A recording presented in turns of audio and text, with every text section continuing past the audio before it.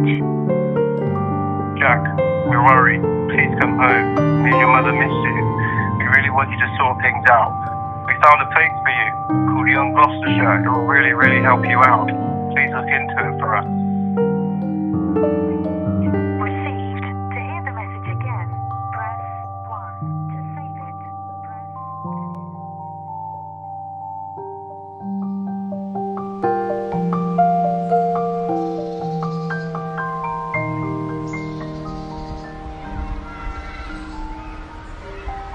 Sometimes we go down the wrong path.